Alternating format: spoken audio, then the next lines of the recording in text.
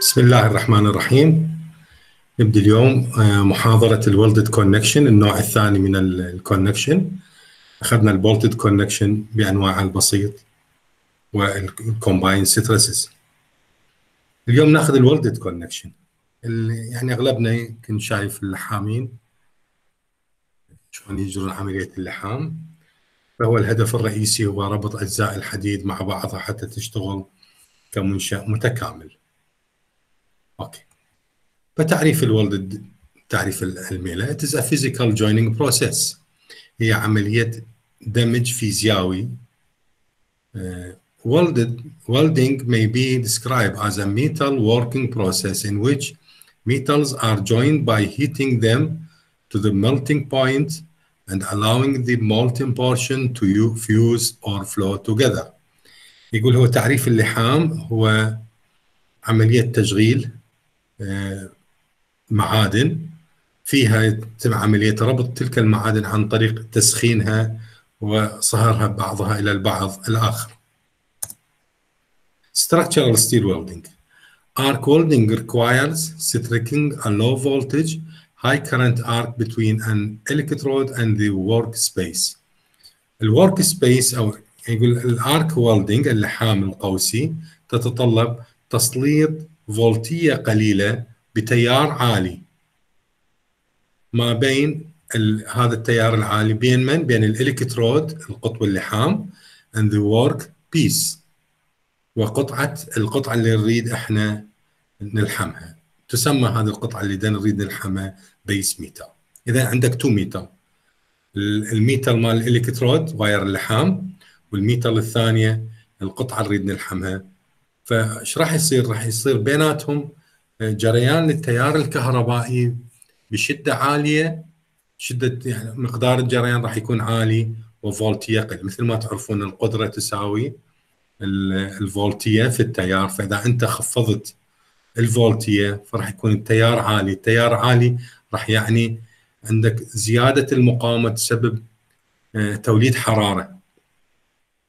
الإلكترونات من راح تمشي بتيار عالي راح تخلي المعادن تولد حرارة عالية هذه الحرارة تسبب انصهار القطعتين The intense heat generated with this arc melts the base metal and allows the joining of two components. The characteristic of the metal that is being welded and joint type and joint type, i.e., uh, like it is a groove, fillet, etc. خواص وميزات المعدن اللي إحنا نريد نلحمه وكذلك شكل اللحام راح تأثر dedicate the welding parameters. And the procedure that needs to follow to obtain sound weld joint. وطريقة اللحام اللي نتبعها حتى نحصل اللحام المصمت. يعني هو أسوأ ما به هاي اللحظات انجماد اللحام فممكن يكون يحتوي على فراغات أو يكون مسامي يحتوي على فقاعات هواء أو ممكن يحتوي على خبث هذه كلها راح تغير من خواص اللحام وقوته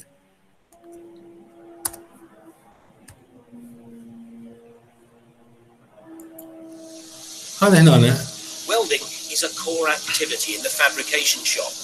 It is used to prepare joints for connection on site and for the attachment of other fixtures and fittings. Different welding techniques are used for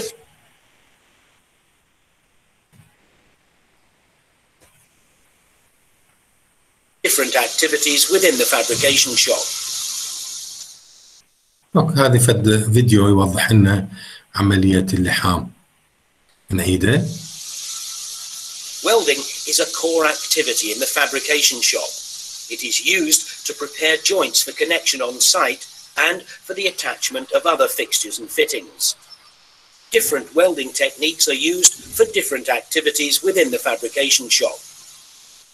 أوكي هنا نلاحظ مصطلح الفابريكيشن شوب ممكن ان يستعمل اللحام وين بال بال بال fabrication shop يعني اللي هو خلينا نقول ورشه الحداده وممكن يستعمل بال site اللي هو موقع العمل.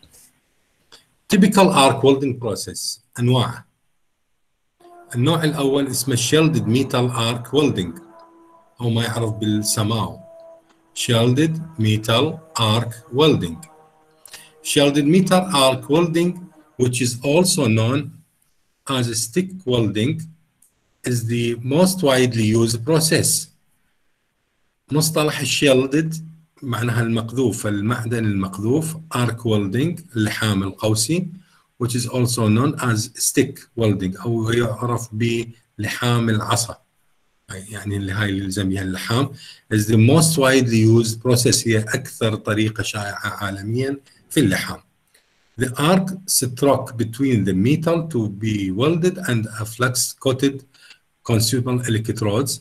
The fluxes are mostly made from mineral components and cover the hot weld deposit and protect it from the environment.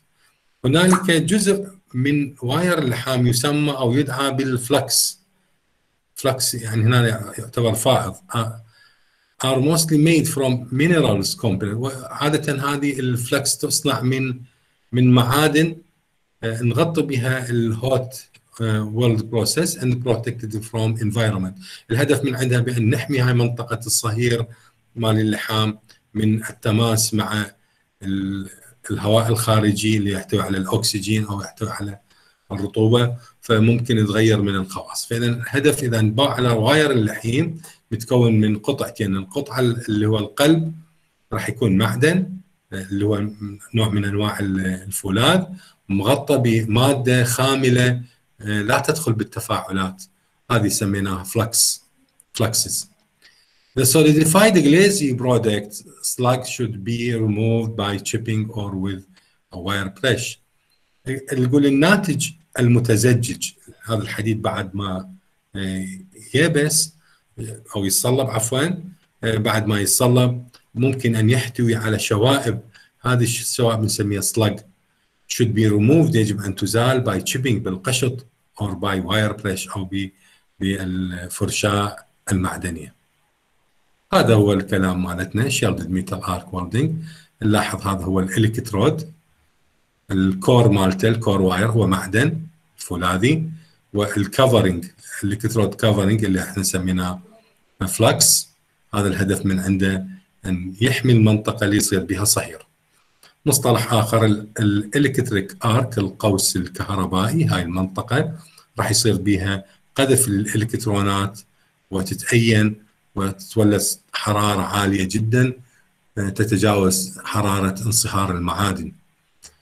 أثناء هاي العملية راح يصير عندنا غازات ناتجة عن الانصهار. المكان اللي راح ينصهر به المعدن يسموه المول المولتن والبول مسبح اللحام المنصهر.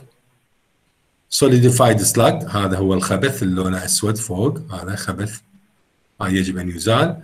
هاي المنطقة لاحظوا بها جزء صاير أعلى من الأساس المعدن ال parent metal هذا يسموه build up of weld metal وجزء راح يحفر بيمن بال metal نفسه. هذا أيضا منصهر. لاحظ أكو جزئين. أكو جزء صار فوق الخط الاعتياد هذا المنقط هذا اللحام فوق والجزء اللي هو يبدي إحنا بالعاميه نسميه يهرش يبدي ياكل بالقاعدة. يبدي يتفاعل مع القاعده هذا هو اللحام الشائع استعماله. نقدر نقول 95% من اللحام اللي تشوفها بحياتك العملية هو السماو. النوع الثاني الأكثر دقة هو ساو أو ما يعرف باللغة الإنجليزية submerged arc welding. السبمرج معناه مغمور. الانغمار منين اجى الانغمار اجى من عملية تغذية ال flux. هنا ال wire يجي مجرد من ال flux. ال wire اللحام لاحظ على شكل بكره هنا ال filler wire spool بكره. هذه ثابته.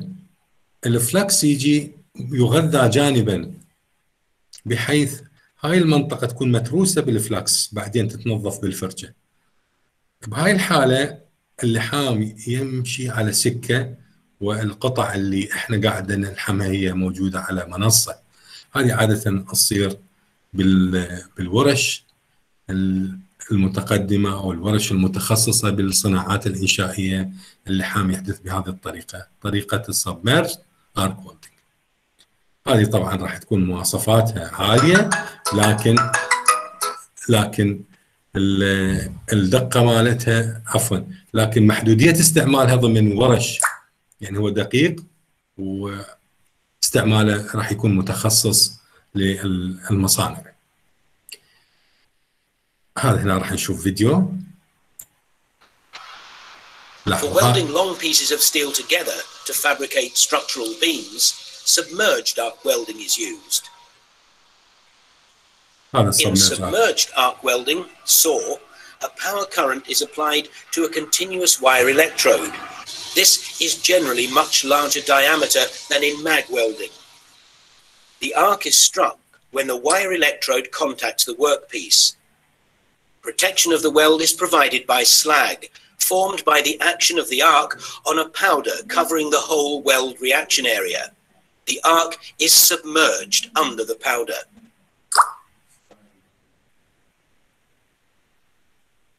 Okay لاحظت شلون ال powder يبدي يزيله من المكان والقطعه تكون ثابته والماكينه تتحرك عليها. Okay. النوع الثالث هو نوع بين الاثنين يسموه غاز ميتال ارك ويلدنج جيماو. It is an arc welding process which produce the welding of metals by heating them with an arc between continuously fed uh, filler metal electrode uh, and the work.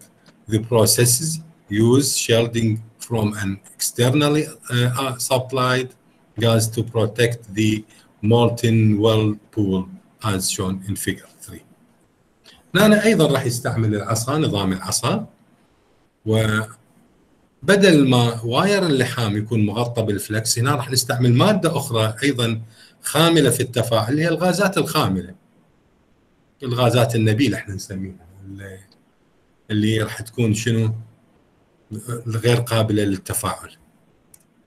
هذا هنا مثال آخر. Metal active gas is used for continuous strength welding. Mag welding employs a continuous solid wire electrode carrying current. This is supplied by a power source and fed through a gun by a roller wire feeder. An arc is struck between the continuous لاحظوا metal الغاز شلون ينبعث and the steel workpiece. المنطقه اللي يصير بها لحام الغاز يغطيها غاز خامل غير قابل للتفاعل The molten weld pool is protected from atmospheric oxidation by a gas shield Formed from an argon and carbon dioxide mixture. يقول يتألف هذا الغاز من الأرغون وال carbon dioxide mixture خليط من غاز ثاني أكسيد الكربون والغاز الأرغون. Okay. Lap joints المفاصل.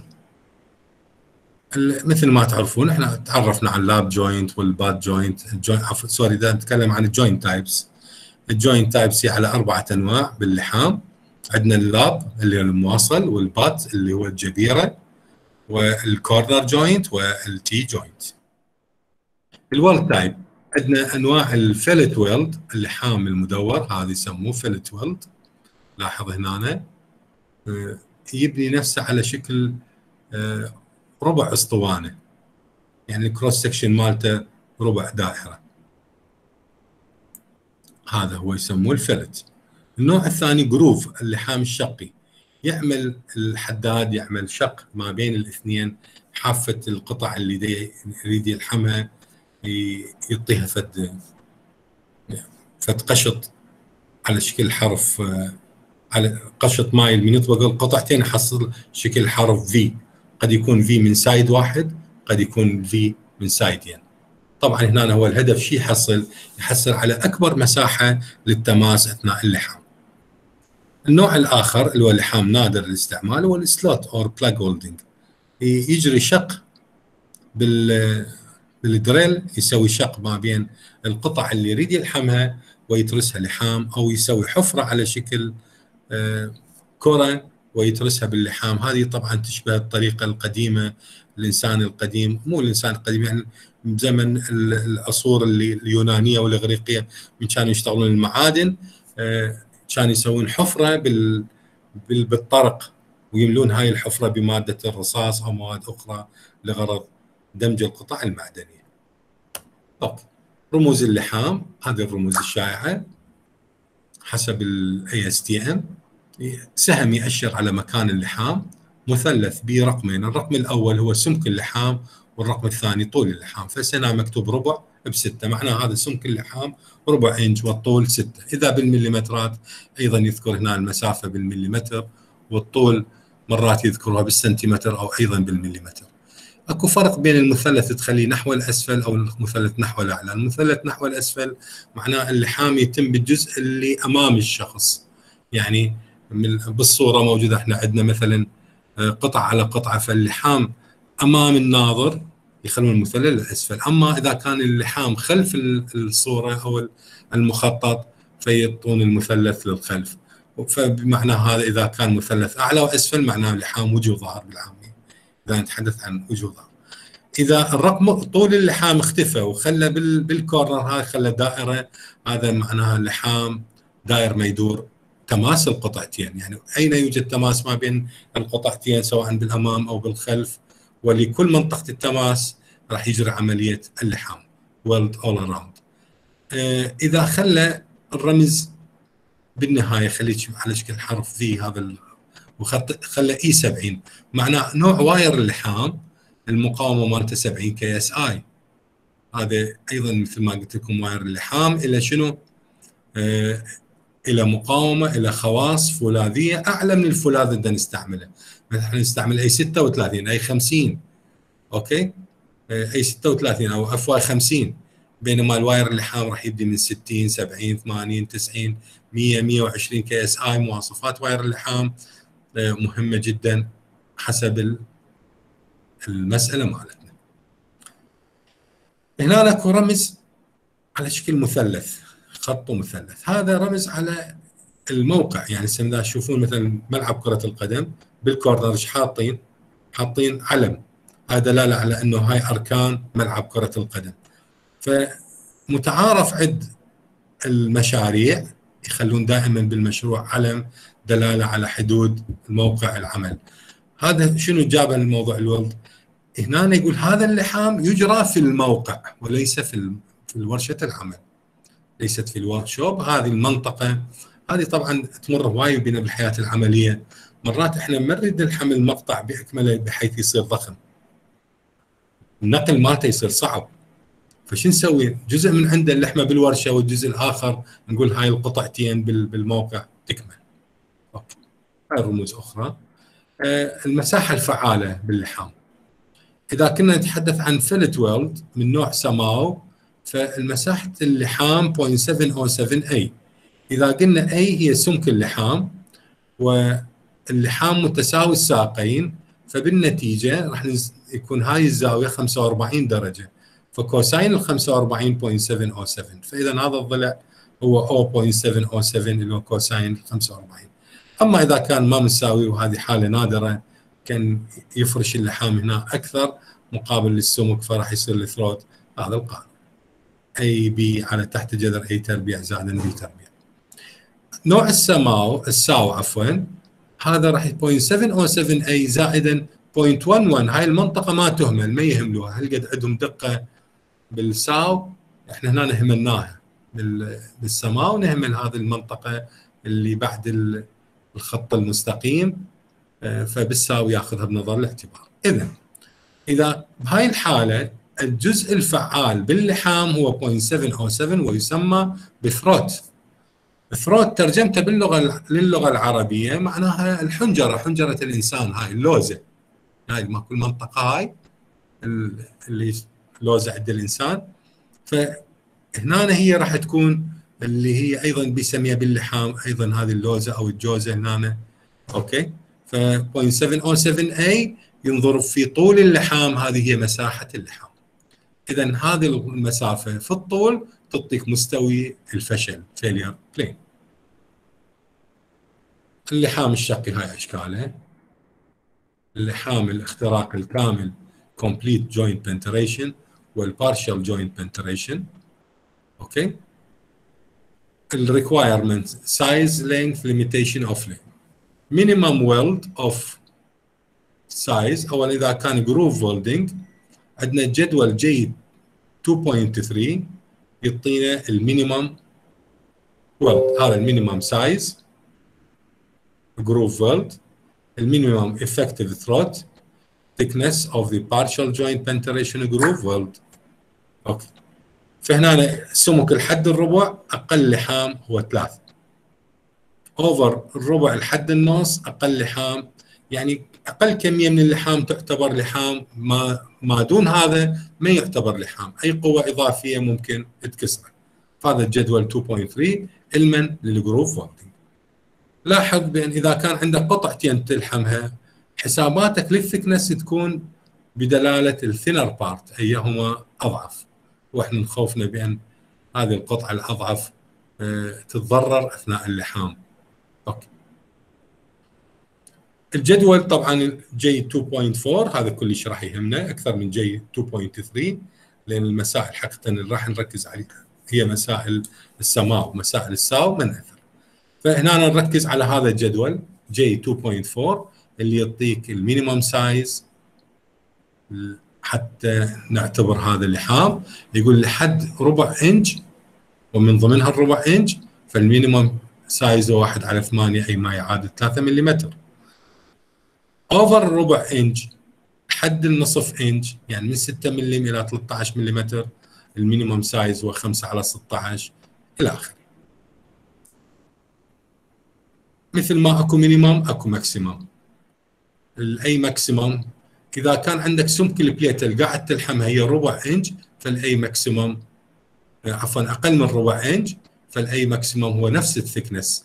بينما إذا كان ال thickness ربع إنش فما فوق فال a maximum يساوي ال thickness مطروح من عنده 1 على 16 مثل ما نشوف بهاي الصورة.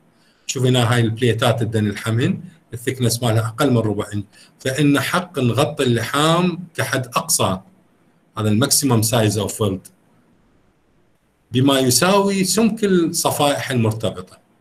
بينما إذا كان السمك ربع إنش فما فوق فيجب ترك 1 على 16 أي ما يعادل 2 ملم كمسافة حرية للحام حتى لا يصير عندنا بهاي المنطقة تلف. يعني إحنا بودنا حتى هاي نسويها لكن لصغر السمك فراح نتجاوز هاي 1 على 16 فهاي الواحد على 16 ضرورية جدا لل a maximum.